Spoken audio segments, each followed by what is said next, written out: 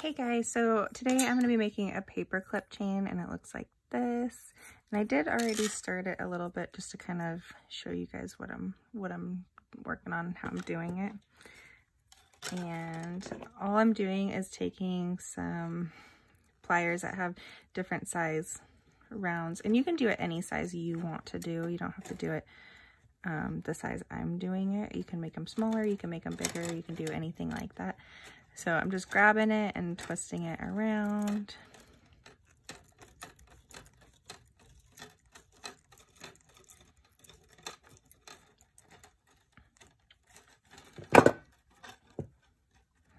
And then I like to kind of squeeze it back around just to kind of tighten it up. For mine, I don't really care if they're exactly, actually, you know, I'm going to give myself a little bit more space. And this that I'm working with right here is half round wire 16 gauge from Rio Grande.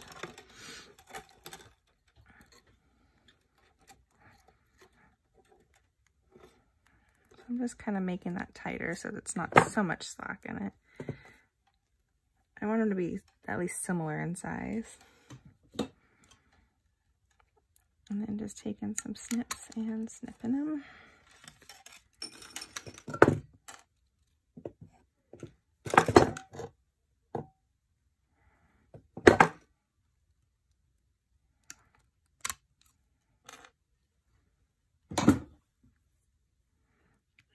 Just making it so it meets up.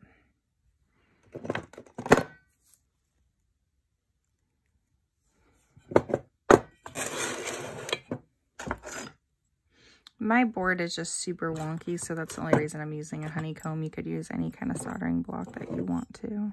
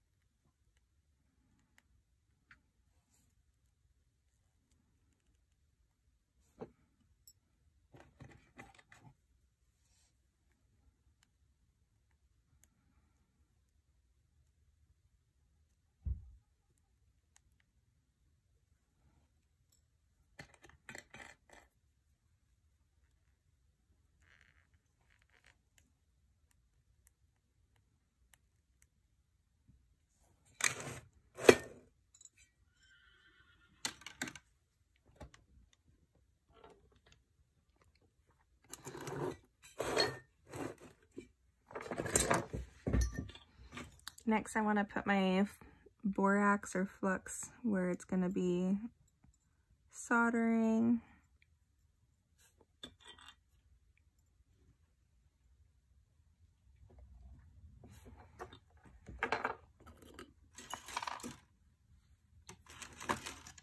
And I like to snip off a few pieces of solder so it's a little bit easy to work with. Um, that way you don't get too much solder.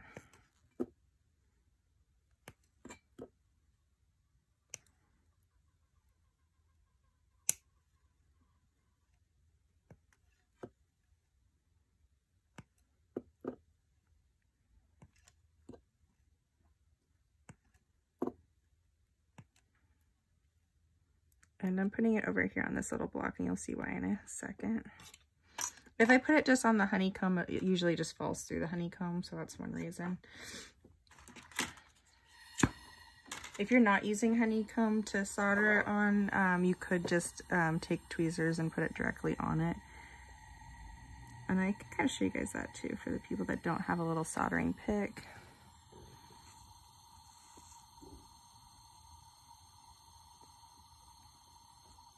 There we go.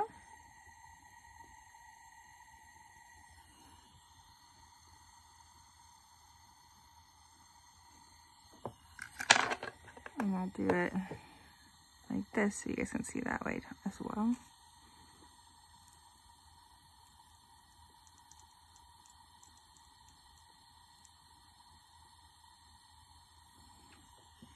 Another way you can do it too is having it on just a round surface and taking it and just putting it up against it and that'll make it flow to it too. It does have to be touching whatever it's going to be soldering to. So that one kind of went to one side and not to the other side. Sometimes if you heat it, there you go. Now all the way around.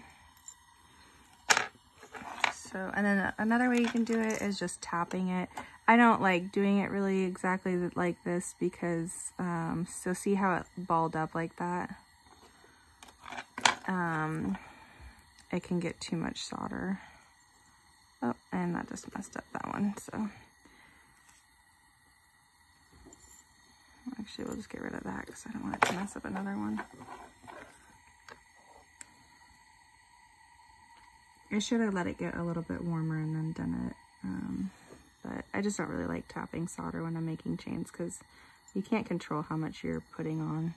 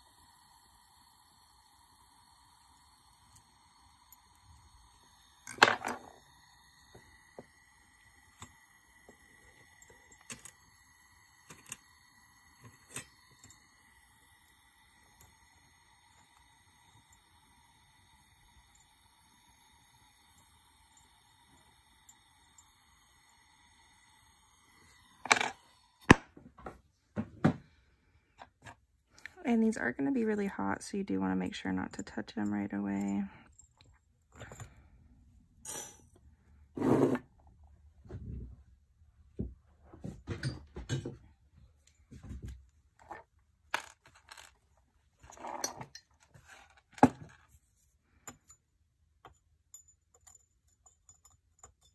So you just want to quench them. I use pH down and water to quench with.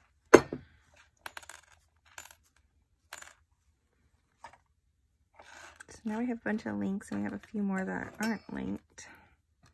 So I like to take the original chain and then one of the links and put it in.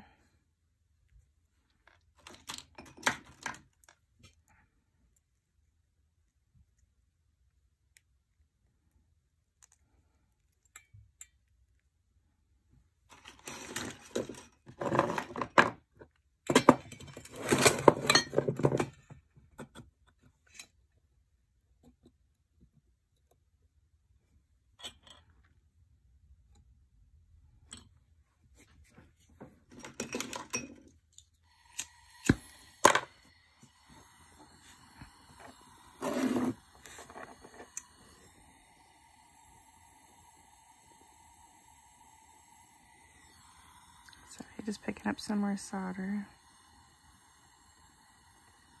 And tapping it.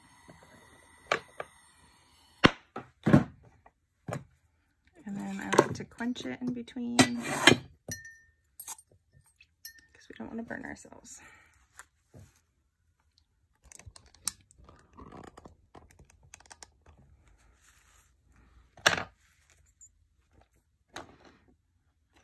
To make it pulled out,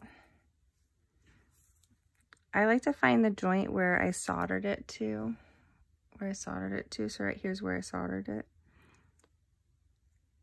And I like to take it right there and that's where I like to pull it out because I feel like it kind of hides it a little bit um, in the chain part of it when you're wearing it. You can't tell as much. And you just want to take any kind of pliers really and just stretch it out. I, I like pliers that are the same on both sides so it makes it a little bit more even.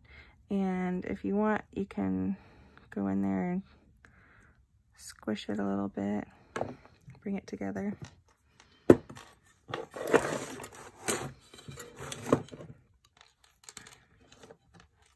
And same process over and over again.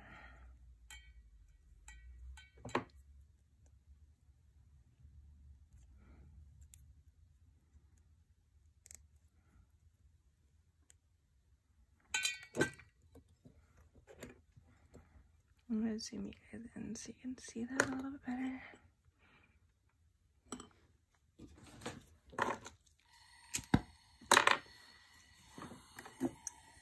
Just grabbing some solder.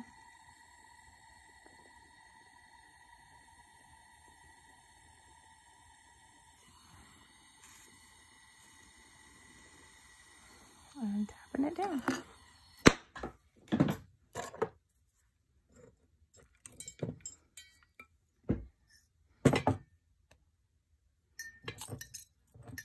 Quenching it. Drying it off.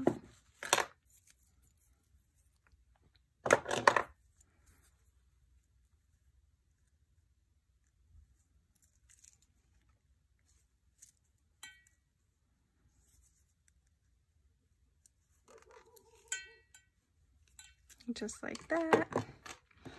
And then one thing I like to do also is um, sometimes I'll just use like even a little chain link and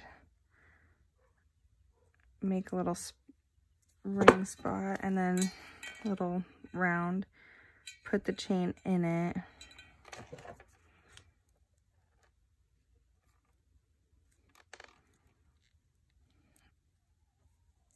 And you can wrap it back around on itself like so to make a little clasp rather than having to buy one. And I just like these a little bit better too because they just slip in. They're a lot easier to find when you're trying to put them on where the other ones are so hard to get on. And then I like to even solder that little piece in there so it doesn't come off. You just want to be really careful with that because uh, you can get it soldered to the other chain.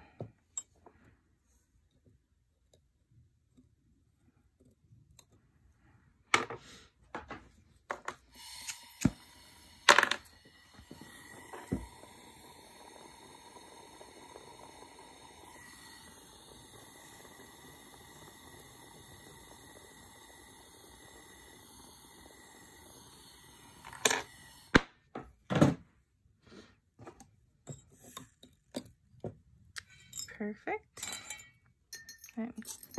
Quench it. Dry it off. Um, and then what I norm I would normally make this probably a like a 14 or 15 inch chain. Um, but just for video purposes, I'm gonna put that in my tumbler so you guys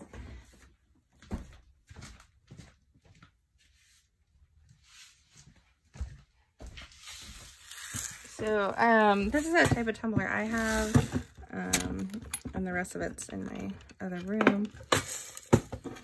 But I will link it in my description below so you guys can get the same type of tumbler if you guys want. I really like it. It goes really fast and it cleans really well too. And this is an example of what it looks like when it comes out. Nice and pretty and shiny. So Thanks for watching, guys.